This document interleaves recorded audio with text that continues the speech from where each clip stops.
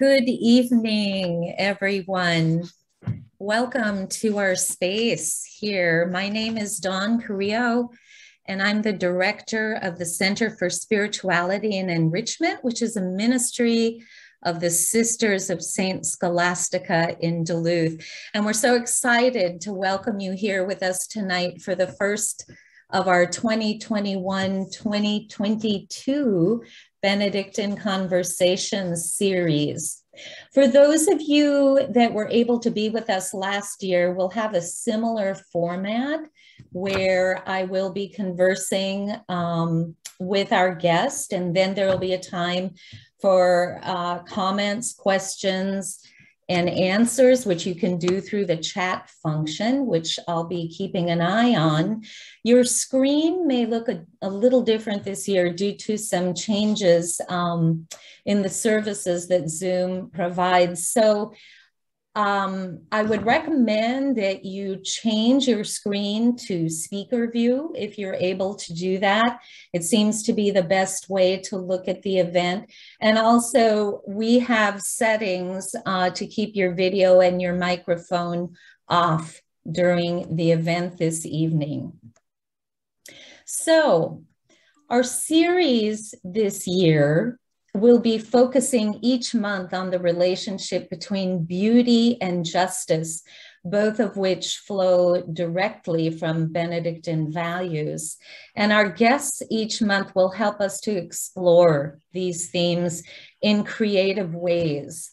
I have to give a shout out to Sister Lisa Maurer for um, alerting me to the work of our guests tonight. And I'm really excited to have Dr. Patrick McCormick with us tonight, helping us to lay the foundation for how to think about beauty and justice for the year. So it's a real privilege to have you here, Patrick. Um, Pat is a professor in Christian ethics and Catholic social thought for the past 27 years at Gonzaga University in Spokane, Washington. He's researched, written, and lectured extensively on the topics of beauty and justice. Pat, welcome. Thank you for being with us. Thank you, Dawn. It's a pleasure to be here. So, as we begin tonight, um, I came across something to get us going. In 2004, many of you are probably familiar with the late writer and poet John O'Donohue. And he published a book in 2004 that was titled Beauty Rediscovering the True Sources of Compassion, Serenity, and Hope. And as we begin tonight, I'd like to read a short passage from his introduction to this book, just a way to quiet our minds and to segue to lead us into our conversation with Pat. So, John says, the human soul is hungry for beauty. We seek it everywhere in landscape, music, art, clothes, furniture, gardening, companionship, love, religion, and in ourselves. No one would desire not to be beautiful. When we experience the beautiful, there is a sense of homecoming, some of our most wonderful memories are of beautiful places where we felt immediately at home. We feel most alive in the presence of the beautiful, for it meets the needs of our soul. Beauty brings a sense of completion and sureness. Without any of the usual calculation, we can slip into the beautiful with the same ease as we slip into the seamless embrace of water. Something ancient within us already trusts that this embrace will hold us.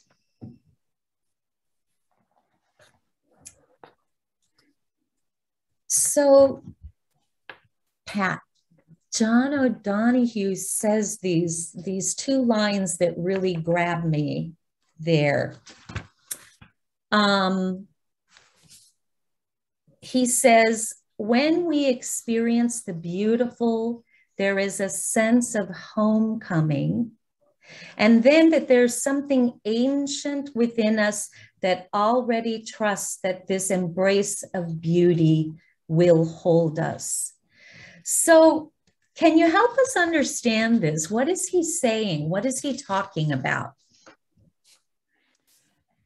Well, I think that's a great question. Um, D.H. Lawrence in the 19th century wrote something very much like that.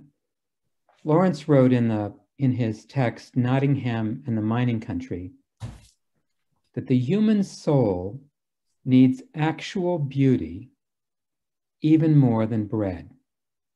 Mm. And I think both O'Donohue and Lawrence are talking about a fundamental hunger in the human spirit for more than just um, having our daily bread or our shelter or um, meeting what we would think of as our, our physical and biological needs, that there is an appetite in the human spirit for beauty.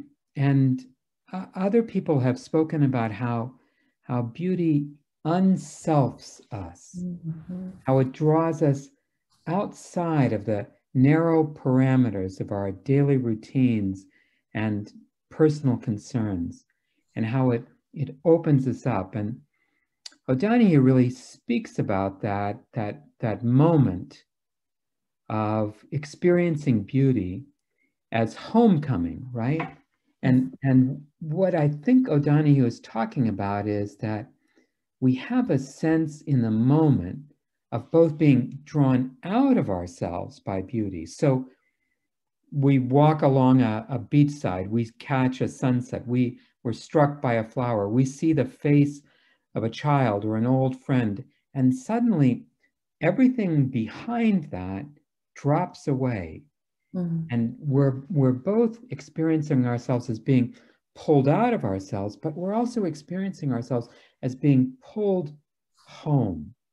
And, and I think really when we look at the, that, that whole first chapter of Genesis 1, the whole creation story where the creator transforms a world that's, that's um, struck by ugliness and chaos and, and muddiness. And then in a series of moments, the creator fashions a world of harmony and integrity and abundance and clarity and, and stark and rich colors and striking stars and sky and moon and sun and luscious waters and verdant greens and thick forests and all of that. And every time in the cadence of the narrative, the priestly author tells us over and over again, seven times in the text, and God saw that it was good. Aquinas actually defines beauty that way. Aquinas says that beauty is the sense of seeing something good, wonderful, glorious. Mm. You know? And so we have a grandson um, mm-hmm. little Ellis is 26 months old now. And when his face appears on uh, FaceTime or when we see him, when we arrive in his house, I know that all 26 month old babies are cute. But to us, he's adorable. And why is he adorable? He, he's adorable because he feels like home to us, because we feel connected to him. And so, um, so I think that the quality of beauty is that it, it draws us um, outside of ourselves and outside of our narrow constraints.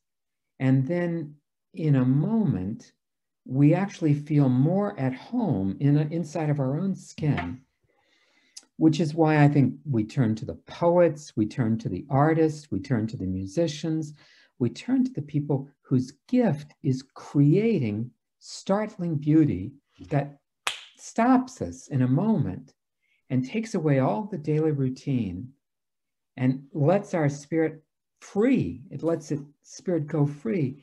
And so, in that moment, um, both O'Donohue and Lawrence are right in saying to us there is something in the human spirit that hungers more for beauty than for bread itself. Wow. So, um, I have several questions from what you've just been talking about. The first one, just if we could lay a little groundwork, one of the things I wonder about, and that maybe some of our viewers are wondering, is um, when we talk about beauty, I mean, aside from the beauty of your grandson, which I know mm-hmm. is phenomenal, um, but what do we mean when we're speaking about beauty? You know, people right away will come up with talking about uh, natural landscapes and so hmm. forth. But if you could kind of speak a little bit more about what you mean when when you say beauty, what these people are saying when they say beauty. Sure. Um, I, I, think we could start with what classical authors have said about beauty. So, what um, the Greeks and the Romans and, and the medievalists said about beauty. And basically, you know, from Plato to Augustine, almost all of them agree that um, that the, the a central element of beauty is a sense of harmony, a sense of um, composition, and um, a sense that there is a um, a peacefulness and a collaboration uh, in what we're seeing. so a work of visual art could be beautiful um, because of that, because of the sense of, of harmony or balance or clarity. I mean, and so, um, but it can also be, it can also be beautiful because the composition is fascinating because it's it's got some clarity and striking. So who knows exactly what makes a red barn against a blue sky in front of a green field, um, what makes it beautiful? What catches um, the eye? Uh, what makes a blossom, a yellow blossom against the, the green background of the leaves um, striking or beautiful? In, in part, I think the early authors talked about, well, it's the clarity, it's the strikingness. Mm-hmm. We all know the difference between something that's drab or monotonous, um, and something that has uh, that is able to capture our eye, that's able to to grab us. In music, you know, all kinds of music um, can be beautiful. Um, some music seems to capture our ear almost immediately. It has a kind of familiarity to it. And that may be because of our own cultural background. We may have grown up in a culture that's mm-hmm. trained us for this music. So it may be that uh, a person who grows up in Philadelphia might not have the ear to appreciate uh, the music of uh, Beijing, um, but one could learn that and, and, and come to discover it.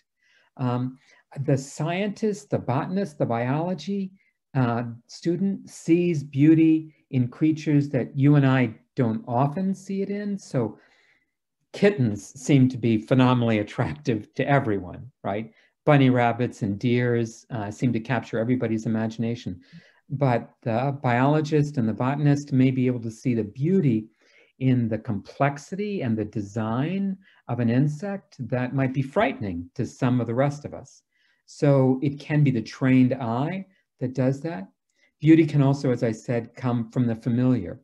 You're, you're walking through a train station in a foreign city or coming into an airport, and then suddenly you see a friend or a relative that you didn't expect to see in Paris or in Budapest, and mm-hmm. your pupils dilate and your heart beats a little quicker and your breath changes. And to them in that moment, you are, they are, to you in that moment, they are beautiful, whereas a thousand strangers might pass them and might not see it.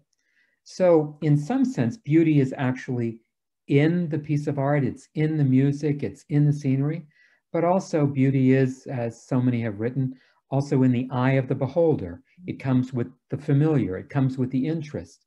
So I've been to the symphony and I'll listen to a, a piece of music by a classical composer, and to my untrained ears, it sounds pleasant, it sounds delightful, it sounds vivacious.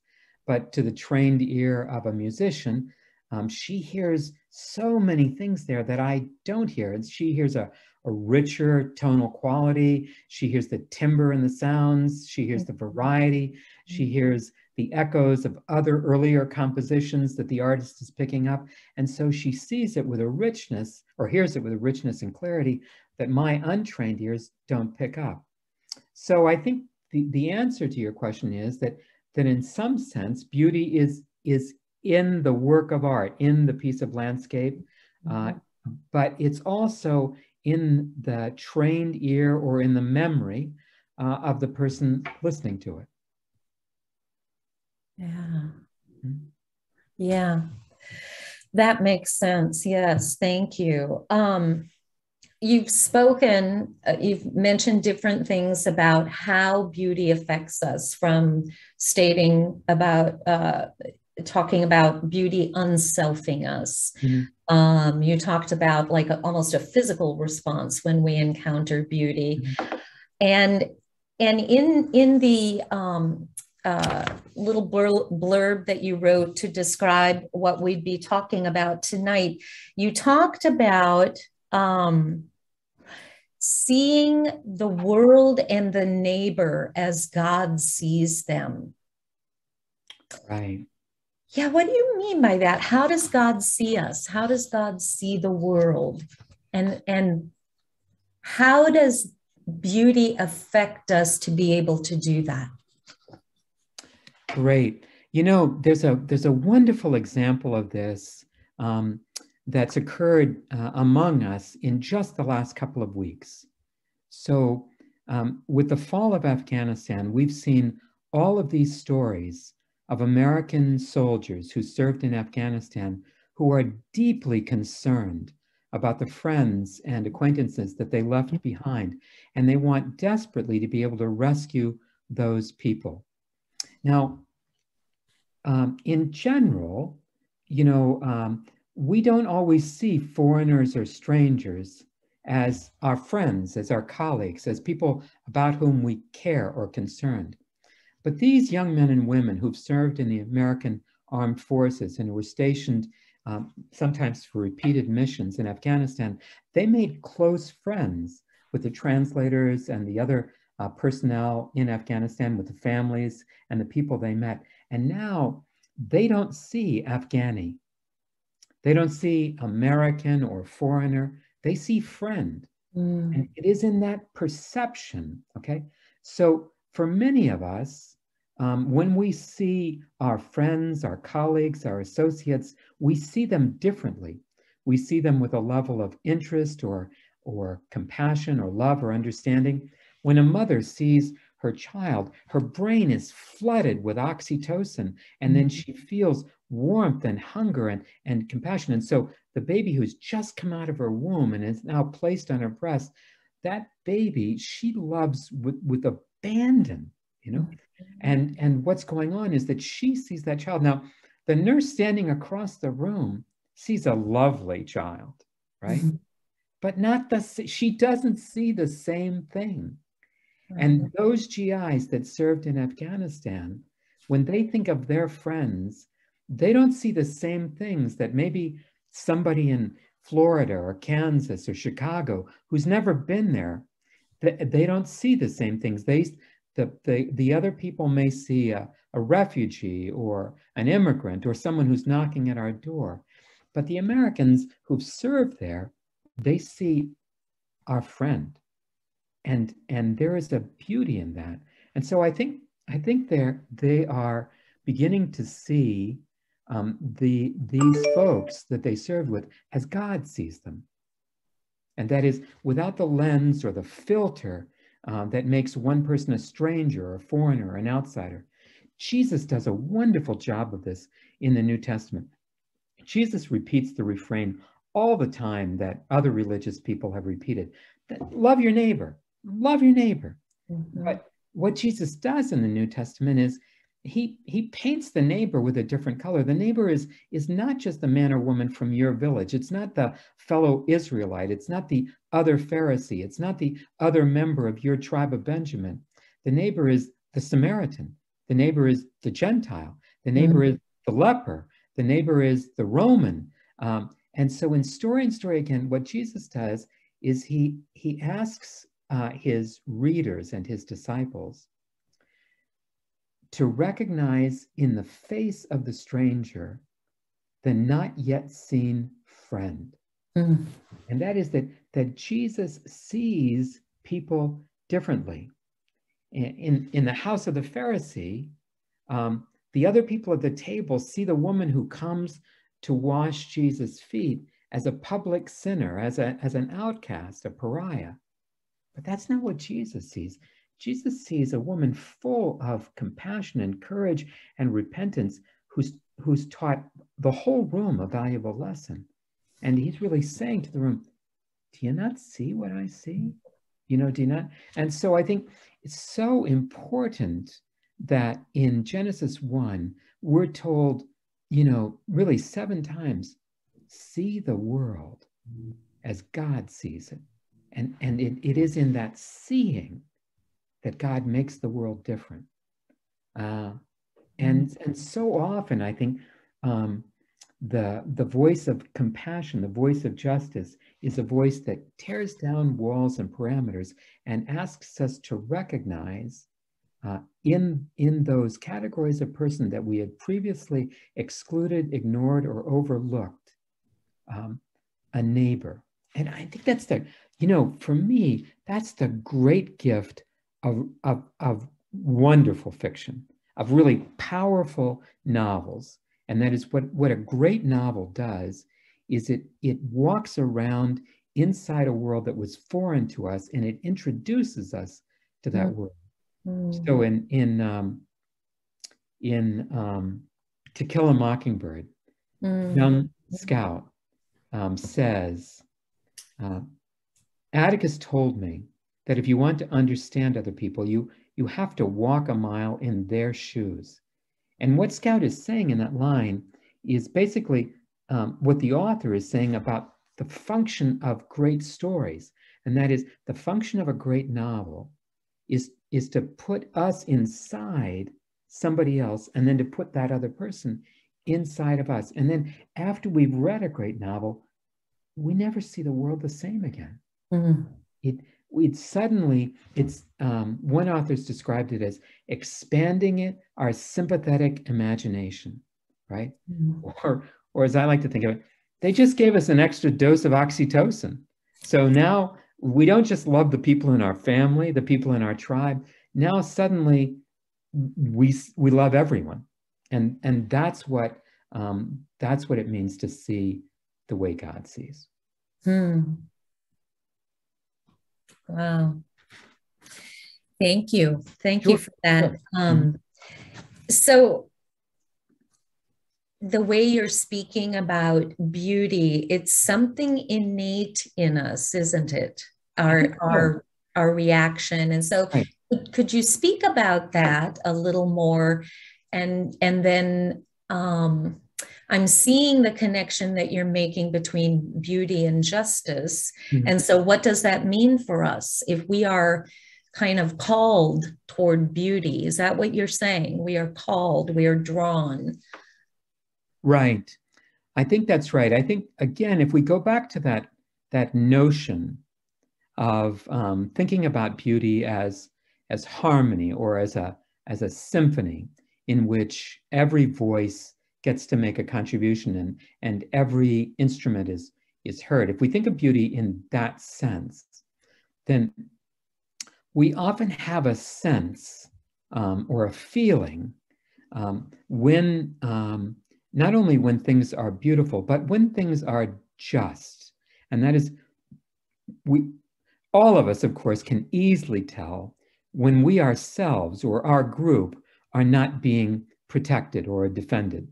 Um, my mother used to say that every child in the world can tell if their slice of the pie is smaller than anybody else's slice. But very few children um, notice immediately that their slice is bigger than mm-hmm. other children's slices.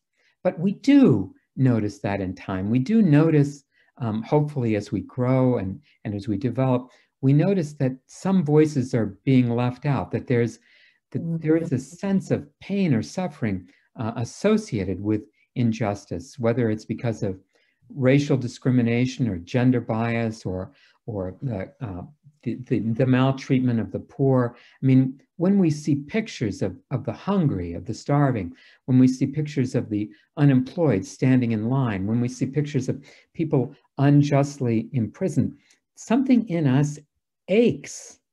Something in us, um, that there is something in us that, that feels um, that this doesn't fit, that, that something's not that something's not right with the world. Martin Luther King, in his I Have a Dream speech, talks about that, that sense, that, that aching that we have for justice, that all children would be able to play together, that, that all women and men would be able to, to find employment or to find enough bread. And, and, and I, I want to say that, that, that this sense, this ache for justice is allied with uh, a sense of beauty. Uh, how can I phrase this? Um, any parent and every family feels a sense of satisfaction and joy and pleasure if their children are under safe shelter, if they're out of harm's way, if they're well fed, if they get to go to a good school. But we also, maybe to a lesser degree, but to a real degree, we feel something similar when other people's children um, get enough food and enough shelter and get to go to a decent school and get to be out of harm's way. And so when we hear stories about that, I think that's the reason why so many people at Thanksgiving and Christmas and other holidays want to help out at shelters, want to distribute food to the hungry. It, and, and why people so often feel good at the end of that. And that is, you feel like you've made the world a, a better place, a, a, a kinder, a, a gentler, a safer place.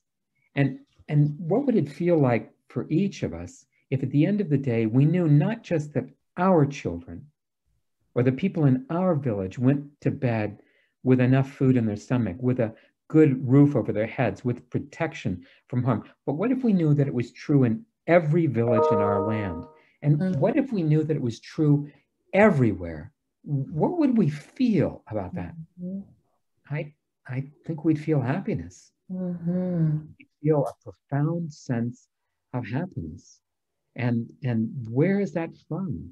I, I, I think that comes from a sense that, yes, we, we want to see physical, artistic, musical beauty, but hungering underneath of that we want to know that there's a table somewhere where everyone can sit down and everyone can be fed, where everyone can get clothing and shelter, and everyone, nobody walks away from the table uh, in suffering. And so I think that our that our hunger or our appetite for beauty are allied with our appetite um, for justice. Mm-hmm.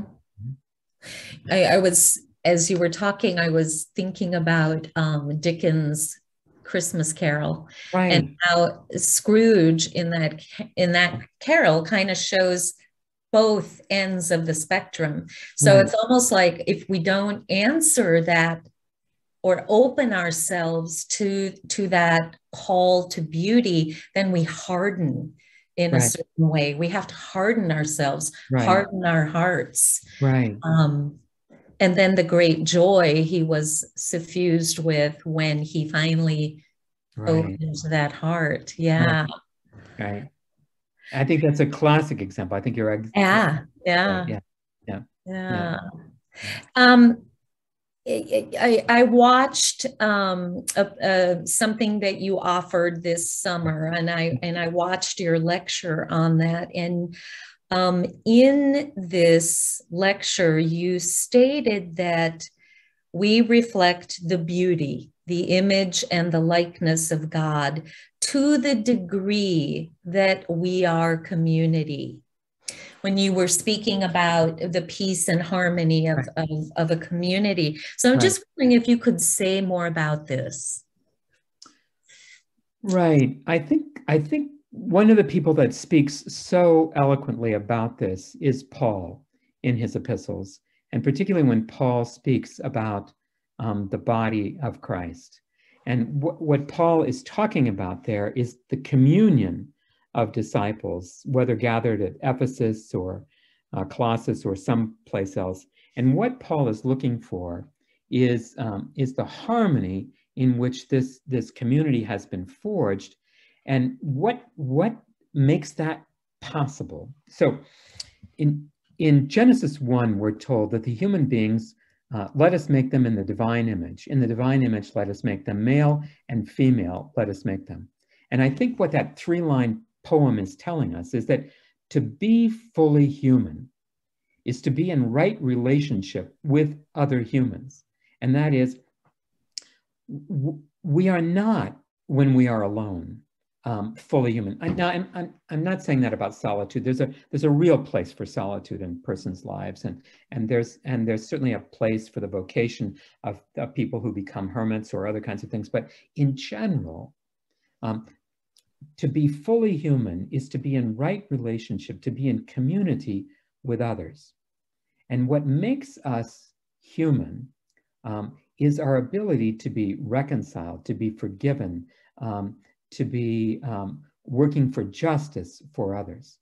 In, in Genesis 2, uh, after God has said seven times how good everything is, the first complaint we have in Genesis 2 is that God says, It is not good that the creature is alone. Mm.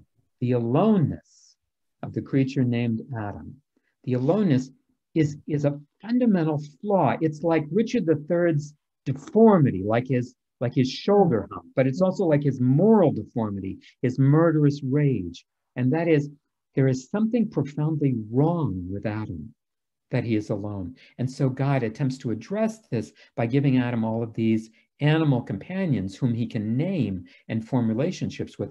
But in the end, uh, Adam only becomes fully human when he recognizes the humanity of Eve, when he says to Eve, Here at last is bone of my bone and flesh of my mm-hmm. flesh.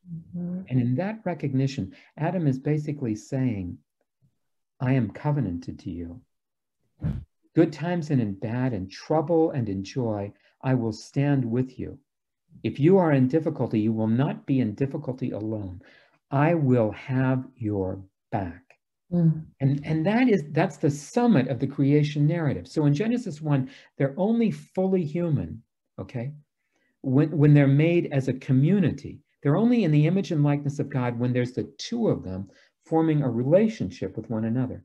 And in Genesis 2, the Adamic creature, the Adam, never becomes fully human until he recognizes and covenants himself to the humanity of Eve. And when he does that, then the creation story is complete for him. And so, so what we're really saying here is that this hunger in the human person for beauty is a hunger to be in right relationship with others. Now, that includes other human beings, and of course, it goes beyond that. It, it, it, to be in right relationship with other animals, but also to be in right relationship with all of creation, and so to be in harmony, right?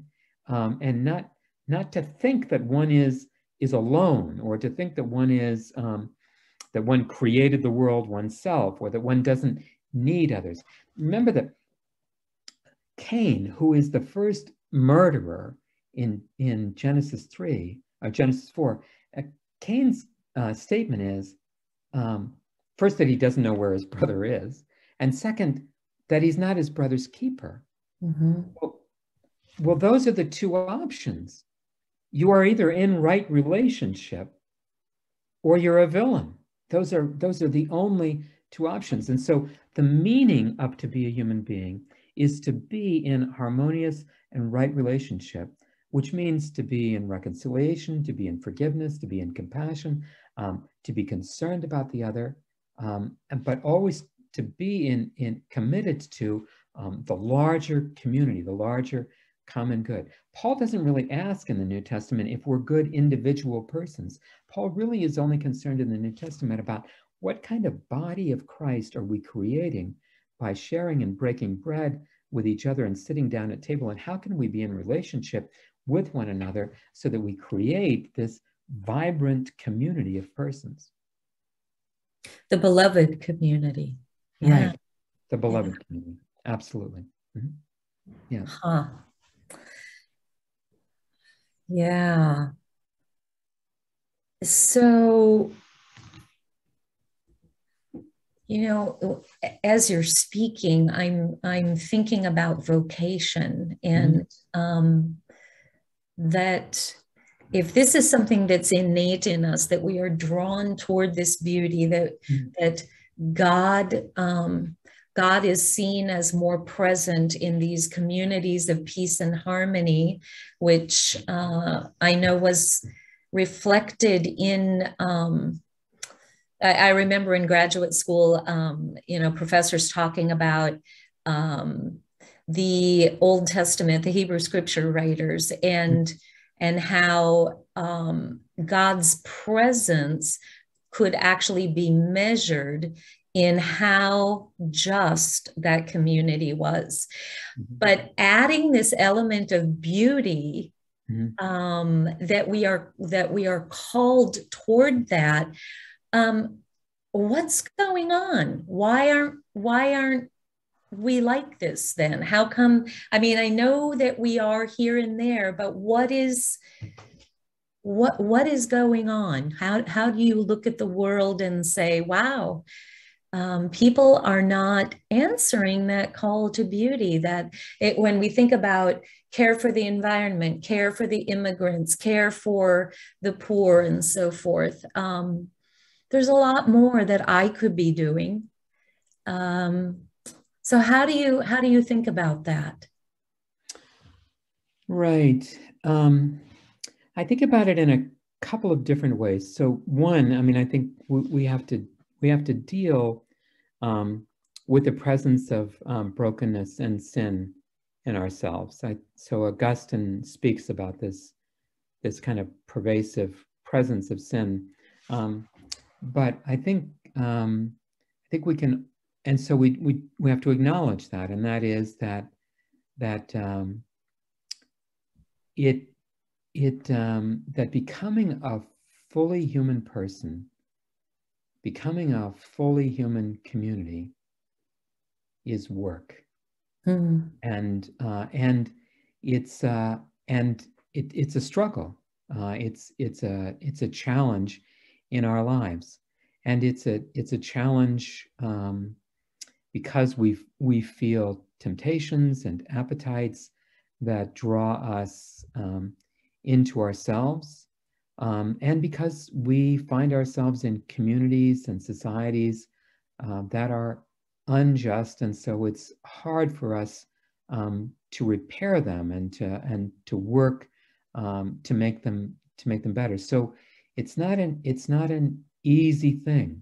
Um, so I, I think I think we have to acknowledge that, um, and we have to acknowledge um, that in the depth of our own hearts. We have to see in ourselves um, this uh, this um, brokenness, this chaos, this wilderness, and then um, and then we make a decision uh, to try to overcome that, to try uh, to repent, and that's the central message Jesus offers in the Gospel of Mark when he comes out of the wilderness and says, "Repent, for the kingdom of God." is in front of you. That is, turn away from um, these other temptations, this, these other appetites, these, this sinfulness, turn away from it and take, um, take steps that are difficult and challenging, um, but, but move in, in that direction. I think we can take encouragement from the fact that, that so many who've come before us have taken really extraordinary steps and held up the candle and held up the light for us and, and shown us um, the way. and that in many ways the societies to which we belong today are an improvement on the societies that our grandparents or great grandparents um, lived in, and hopefully, you know, that we will give um, uh, a society to our children and our grandchildren better. And again, I go back to Genesis 1. In Genesis 1, God moves from chaos uh, in the in the very opening line of that narrative, where the world is is really a stinking mess, and God creates out of this uh, this harmony and this beauty, and then God creates us and tells us that we are made in the image and likeness of this artist who has moved from stinking mess to splendor, and and as if to say, and we're not done. This is your calling.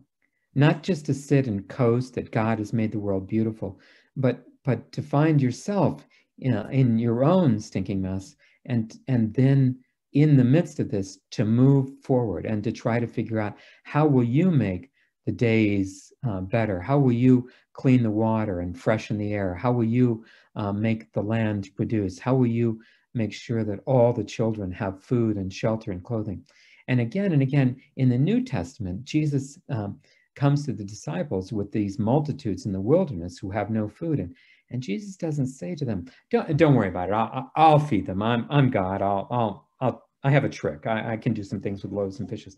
But instead, in all the six multiplication of loaves accounts, Jesus says to the 12 who really stand in for us, you find some food for them. Mm. And they're terrified you know mm-hmm. oh my mm-hmm. god there's way too many people to feed this can't be done you know mm-hmm. we have to take care of ourselves and and Jesus just says, no, you do this. So I, I think that that um, you know the the biblical narratives tell us that we're in the midst of this and that our job, our vocation, our calling as artists, as creators, as co-creators with God is to make beautiful music, to make uh, art, to make the world um, what God wants of it. Yeah. Hmm. So um, I'm just curious what you would say. Uh, we have a few comments coming in, so I'm going to move to that. And if anyone has any comments or questions, please go ahead and send them in through the chat mm-hmm. function. But one of the things I'm wondering about how how you would answer this. Um, I'm thinking about evolution and how some theologians are doing a lot of writing now, mm-hmm. Ilia Delio being one right, of them, right. Franciscan. And, right. And so I'm wondering how evolution kind of plays in with this um, notion of beauty and um, are we getting better? You know, are we improving mm-hmm. in how we are um, noticing beauty and being artists ourselves? Right. I, I think that's a, a great question. I think one of the great things that evolution teaches us is, again, the unfinished work. Um, and that that maybe um, that maybe you and I, as we are in the present moment, maybe we're not the finished work of God. Maybe the the, the finished work of God is is unfolding, and that we have a a place in it and, and that we have a, a gift or a job or a vocation or a calling, but maybe we're not we're not the last word in mm-hmm. in this. Um, what it also I think what we need to do is we need to take a look at some of our um, some of our failings and our mistakes in our own human story and things that we have done um, to other parts of creation uh, damages or harms that we've inflicted that we need to repent from and that we need to move away from. So I think that that uh, what we can see too is our as our dependence on so much of of creation. It wasn't so very long ago that we humans um, thought of ourselves as the the pinnacle of creation, the right. top of the pyramid. But you know what we failed to recognize was our profound uh, dependence on so much of the rest of creation. So, you mm-hmm. know, if if space invaders landed tomorrow and took the human race away, I I think the dogs would miss us.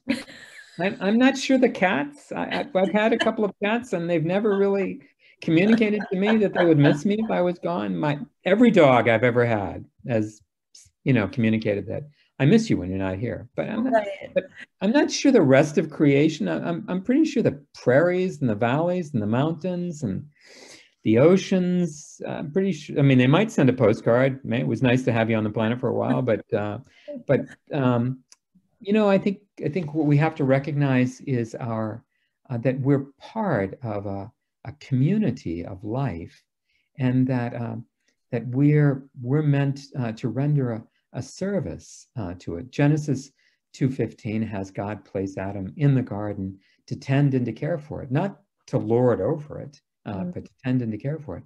So I, I think we have a long way to go to learn our rightful place in the community of life that is creation. And yeah. some, um, like uh, like and uh, Elizabeth Johnson, who's written yes. a good deal on this, you know, ha- have taught us some things that that uh, historically we we haven't paid adequate attention to. Yeah. Right, I agree. Mm-hmm. Michelle writes in, I have spent one day a week with my grandson, who is now four years old. He sees so much more than I do. Today, he looked at a double maple spinner and said, Puppy, look, a bat. And it did look like a bat. I think sometimes we are way too consumed with our workaday life that we miss so much of the beauty. It may be why Jesus said we must be like children who are such seers of beauty. Do you have any comments about that, Pat? Right. I, I think that's a great insight. I, I think there are a couple of things in there. First, how fresh the eyes of a child are. And sometimes how, as we get schooled and move through life, we put on so many lenses that we don't often see what is startling right in front of us. And so that, that mm-hmm. children can really remind us of this.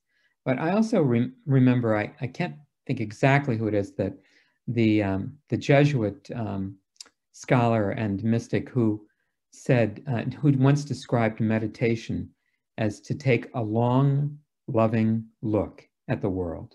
Mm. And and and that that ability um, to pay attention. You know, we hear this complaint all the time uh, from our children and our parents and our spouses. You're not paying attention, right? right. Um, and uh, our parents, when we were children, many of us, our parents would say to us, "I want your undivided attention," right? right? And so, and so, what that child was giving to that maple leaf was um, the child's undivided atten- attention. And because of that, the child could marvel and wonder. Uh, and so many of us become so busy that we don't see. And so we certainly can't see as God sees. When God looks at the world in Genesis 1, God sees with undivided attention. Imagine mm-hmm. what it was like for the first time to see a cheetah move across the savannah at 70 miles an hour. Imagine what it was like for the first time uh, to see a to see a herd of zebras thunder across the grasses, and then and then imagine how callous we get after all when we stop seeing these things because we've seen them so many times before our loved ones whom we see every day or several times a day and then we don't see them anymore mm. and, and so i think what the child teaches us is the ability to see with undivided and startling attention. Yeah. Yeah, I always say that children stop us in our tracks and make us see those things. It's wonderful. So, Barbara um, is anticipating where we're going here, and she says, How do we invite people to encounter society's invisible people as beauty? How do we do this? How do we become more aware? You shift my perspective to see beauty with marginal eyes, to see a spark of divinity in each person. How is encounter with the marginalized mutual beauty if trust is limited? You speak of beauty as a priceless and intangible gift. Thank you. What comments? Wow, those are great questions. Yeah, um, yeah. So, um, I, I would say that one place for us to start is to begin to make friends outside of our regular circles. Mm-hmm. And that mm-hmm. not just to en- encounter people uh, in, in order to serve them or to, to bring them a, a, a fresh meal, but, but to make friends. And that is figure out ways to put our bodies in places um, where they don't normally go so that we um, can actually form friendships with people outside of our regular uh, community. Mm-hmm. So seek seek out other um, persons. Um, and secondly, I think, um, and we can do that. We can do that by going to different parts of town. We can do that by traveling outside of our community. We can do that by looking for places where people who are different from ourselves gather. Um, we can look for people in our neighborhood who are different from us, uh, people that we don't normally associate with, and start to form um, friendships. And, and I, I, mean friendships because in friendships, we actually see another person um, without the lenses, without the filters. So 40, 40 years ago, um, the gay and homosexual community in America decided that if they were going to make changes in our society, they needed to come out of the closet. And everybody in the country needed to know that they had an Uncle Ralph or an Aunt Mary or a cousin or a friend uh, or a teacher who was um, gay. And, and once that happened, once we knew actual people like that, it changed our lives and it changed our behavior about these things. The same kind of thing is true in the same sense that if um, when if we go out of our way to make associations with people from other ethnic and racial communities, to make friendships with them, then they stop being an abstract idea to us or a group. They become actual persons. Mm-hmm. So I think forming those um, relationships, doing what those GIs did in Afghanistan, forming actual friendships with people who speak another language, who come from another religion, who belong to another community. Doing that builds bridges then um, that then we see beauty in these people that we didn't see before because they were just a category. They were just a, a type. And then suddenly they're, they're not types anymore. And if we can't do that, then, then I recommend, as I said before, read. Read a lot of fiction, yeah. Uh, um, watch plays, uh, go to the theater, um, expand your sympathetic imagination by introducing yourself to the world and the stories of other communities. Read the stories of people of color, read the stories of Muslims, read the stories of Asians, read the stories of other people, and put yourself in their context and let their context come inside of your heart and mind. And do that and, and expand your own sympathetic imagination, and you will begin to see beauty in places where you did not see it before. Hmm. Regina says, Wow, this can begin tomorrow with every one of us. Sure. Which sure. is true. Very true. Um, Reed asks, would you consider capitalism innately against the beauty that you describe. Right. I, I think that the danger with capitalism, so capitalism also has a variety of different forms. Like the, the, the actual form that we have right now in the United States isn't the only form of it.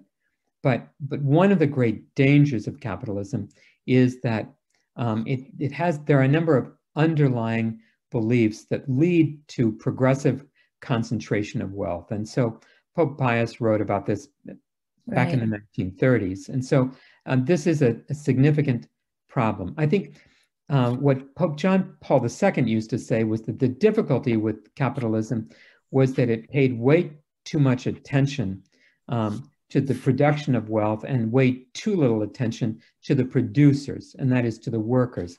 And so mm. John Paul would have said that what we have to pay attention to is the priority of the person.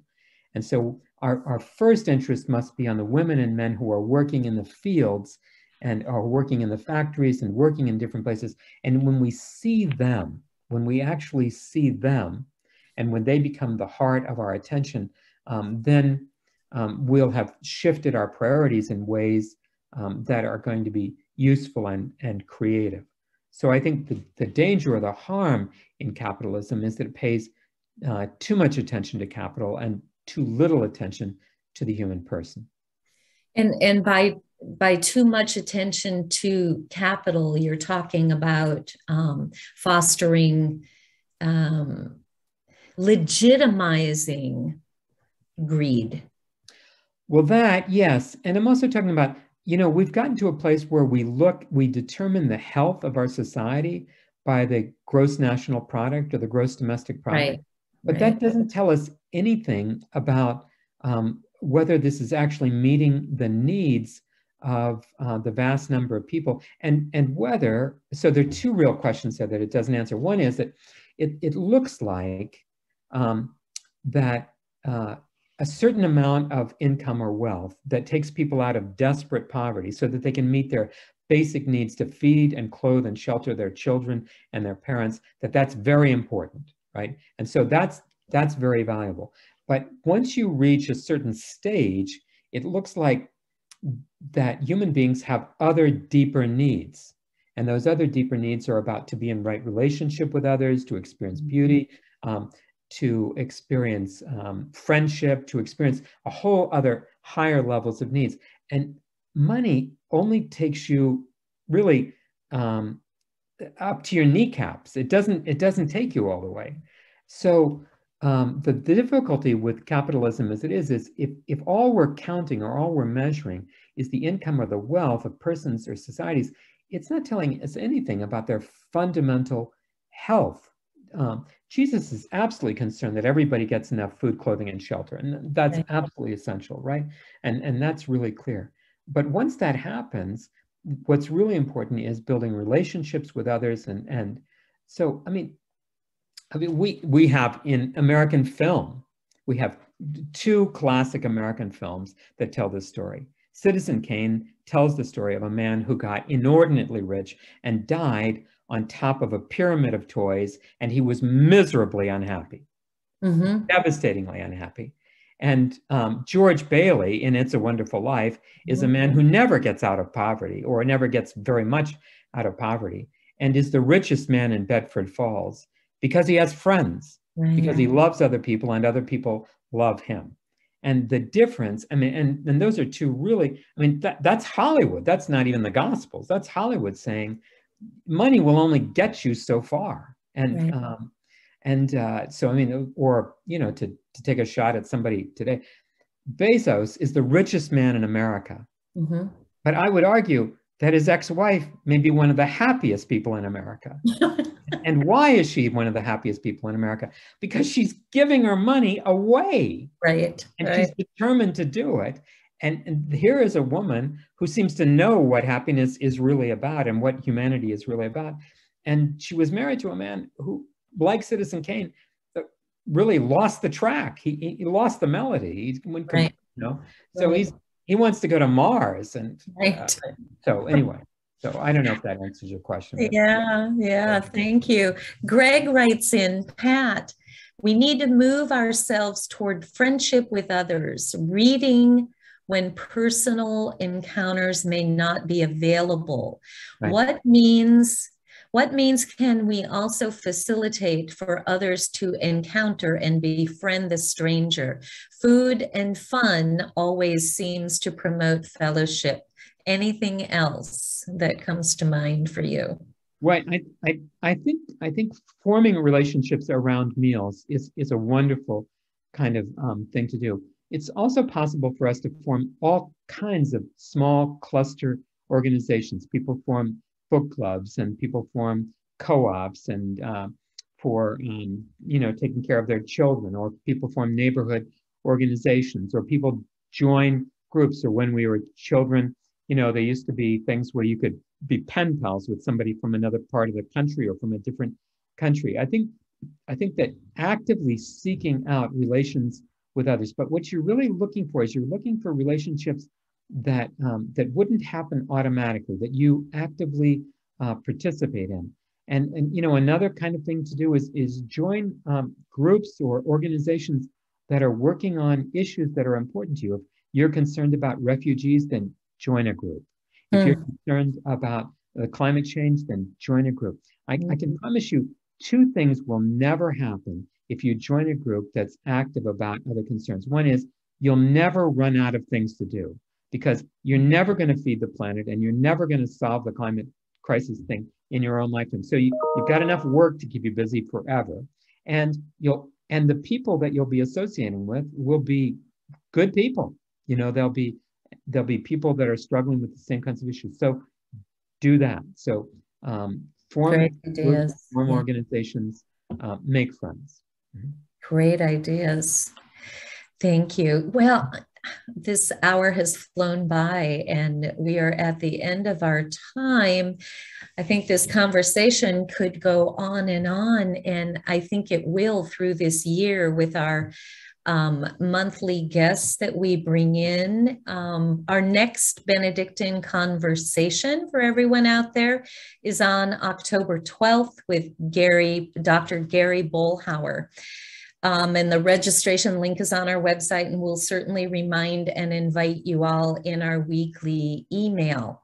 But I just want to thank you, Pat, for grounding us for this whole year. So we're going to be exploring these themes that you've brought up through the year with various people who have um, different perspectives that they see these um, themes from. So I'm just so appreciative. This was a wonderful, wonderful conversation. So thank you, thank you for being here. And I and I want to hand it back to you and see if there's words, anything you would like to leave us with tonight.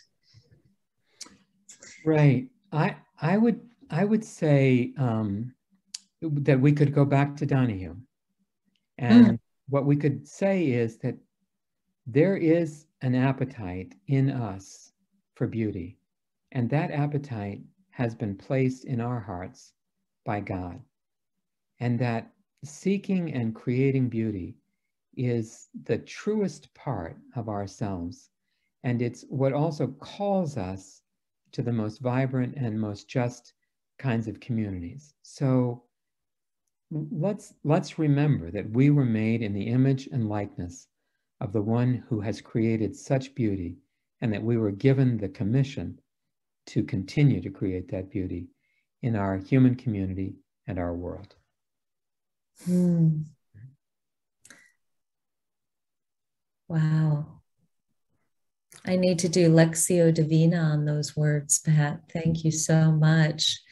Thank you all for being here with us tonight. And on behalf of the Sisters of St. Scholastica and the Center for Spirituality and Enrichment, to everyone with us tonight, blessings of beauty, peace, and hope to you and your loved ones. Thank you all. Good night.